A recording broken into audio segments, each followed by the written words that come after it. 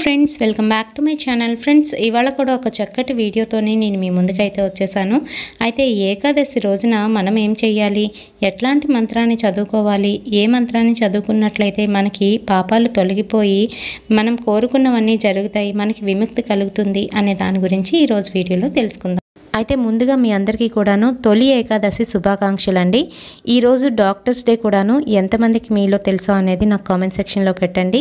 వైద్యో నారాయణో హరి అని మన పెద్దవారు ఏనాడో చెప్పారు కదా అంటే వైద్యుడు నారాయణుడితో సమానము అని చెప్తూ ఉంటారు. అయితే ఇలాంటి సమయాల్లో కూడాను వారి ప్రాణానికి తెగించి మన ప్రాణం నిలబెడుతున్నారు. వారందరికీ కూడాను మనస్ఫూర్తిగా కృతజ్ఞతలు చెప్పుకుందాము. ఇప్పుడైతే వీడియోలోకి వెళ్ళిపోదాం. ఒక చిన్న రిక్వెస్ట్ ఫ్రెండ్స్ ఇప్పటివరకు మన ఛానల్ని ఎవరైనా సబ్స్క్రైబ్ చేసుకోకపోతే వెంటనే సబ్స్క్రైబ్ చేసుకోండి. పక్కన ఉన్న బెల్ ఐకాన్ని యాక్టివేట్ చేసుకోవడం వల్ల నా నోటిఫికేషన్స్ మీకు ఇమీడియట్గా రీచ్ అవుతాయి. అయితే ఈరోజు పూజ అనేది నేను ఈ విధంగా చేసుకున్నాను. నిన్నటి వీడియోలో నేను చెప్పినట్టుగాను యాలక్కాయలతోని ఇలా దండగుచ్చుకొని స్వామివారికి అమ్మవారికి ఇలా వేయడం వల్ల ఇంట్లోని ఎటువంటి ఒడిదుడుకులు అనేవి ఉండవు.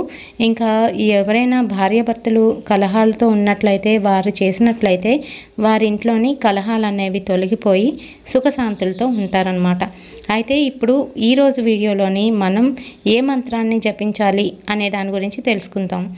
అయితే ఏకాదశి రోజున ఏ ఏకాదశి అయినా పర్వాలేదు. మనకి సంవత్సరానికి ఇరవై నాలుగు ఏకాదశులు వస్తాయి. నెలలోని రెండు వస్తాయి. ఒకటి శుక్లపక్షంలోని రెండవది కృష్ణపక్షంలోని. అయితే ఈ శుక్లపక్షంలోది కృష్ణపక్షంలోది రెండు కూడా ఇంపార్టెంటే ఇంకా అధిక మాసం వచ్చినట్లయితే మనకి ఇరవై ఆరు ఏకాదశులు అనేవి వస్తాయి. నెలకు రెండు వచ్చే ఈ ఏకాదశులు తప్పనిసరిగా మనం పాటించినట్లయితే మనకి మోక్షం కలుగుతుంది. అలాగే మనతో పాటుగా మన పితృదేవతలు ఎవరైతే ఉంటారో ఇటు ఏడు తరాల వారు అటు ఏడు తరాల వారు వారికి వైకుంఠ ప్రాప్తి అయితే కలుగుతుంది. అయితే మనం మంత్రం ఏం చదువుకోవాలి ఏ మంత్రాన్ని చదవడం వల్ల మనకి ఎటువంటి ఫలితం కలుగుతుంది అనే దాని గురించి చూద్దాము. వేదాల నుంచి వెలువడిందే భగవద్గీత. భగవద్గీత సారాంశం అంతా కూడాను మనకి మోక్షాన్ని ప్రసాదించేటట్టుగా ఉంటుంది. అయితే భగవద్గీత పారాయణలో ఏ అధ్యాయాలు మనం చదివినట్లయితే ఎట్లాంటి ఫలితాలను ఇస్తాయి అనే దాని గురించి తెలుసుకుందాం ముందుగా. ప్రథమ అధ్యాయం పారాయణం చేసినట్లయితే పాప విముక్తి ఇంకా పునర్జన్మ స్మృతి కలిగజేస్తుంది. అలాగే ద్వితీయ అధ్యాయం చదివినట్లయితే ఆత్మజ్ఞాన ప్రాప్తి కలుగజేస్తుంది. అట్లాగే తృతీయ అధ్యాయం చదివినట్లయితే పాపరాహిత్యము ప్రేతతత్వ విముక్తి కలుగజేస్తుంది. చతుర్థ అధ్యాయం చదివినట్లయితే మానవులకే కాక వృక్షాలకు కూడా దోష విముక్తి కలుగుతుందట. అంటే మనం చదివితే ఆ పక్కనున్న వృక్షాలకి కూడా విముక్తి కలుగుతుందట. దోషాలు ఏమైనా ఉంటే అవన్నీ కూడా తొలగిపోతాయంట. పంచమ అధ్యాయం చదివినట్లయితే దోష విముక్తి కలిగి పశుపక్షాదులు కూడా తరిస్తాయంట. అయితే ఈ రకంగా ప్రతి అధ్యయనానికి కూడాను ఒక్కొక్క మోక్ష ప్రాప్తి అయితే కలుగుతుంది. అయితే ఇప్పుడు నేను చెప్పబోయే ఈ శ్లోకాన్ని ఏక శ్లోకి భగవద్గీత అని అంటారు. దీనిని సంజయుడు మనకి అందించాడు.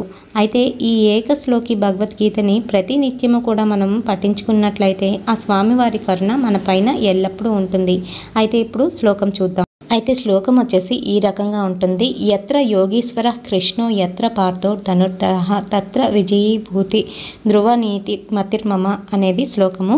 అయితే దీని భావం వచ్చేటప్పటికి యచట యోగీశ్వరుడగు శ్రీకృష్ణుడు యచట ధనుర్ధారియగు అర్జునుడు ముందురో అచట లక్ష్మీ విజయము ఐశ్వర్యము నీతి తప్పక ఉండునని నా నిశ్చయము అని సంజయుడు చెప్తున్నాడనమాట భగవద్గీత నాలుగు వేదముల సారము. కాబట్టి మన భారతదేశపు ప్రామాణిక గ్రంథము ఏది అని అంటే భగవద్గీత అని చెప్తారు. అయితే ఆ మంత్రముని ప్రతి ఒక్కరు కూడా పఠించి స్వామివారి కృపకు పాత్రలవుదాం. ఈ వీడియో ఇంతటితో కంప్లీట్ అయిపోతుంది. మీ అందరికీ కూడా ఈ వీడియో నచ్చిందని అనుకుంటున్నాను. మరిన్ని ఇలాంటి ఆధ్యాత్మిక విషయాల కోసం నా ఛానల్ని తప్పకుండా ఫాలో అవ్వండి. మనందరి మీద ఆ స్వామివారి కృపా కటాక్షణ వీక్షణాలు ఎల్లప్పుడూ ఉండాలని కోరుకుంటూ సెలవు తీసుకుంటున్నాను.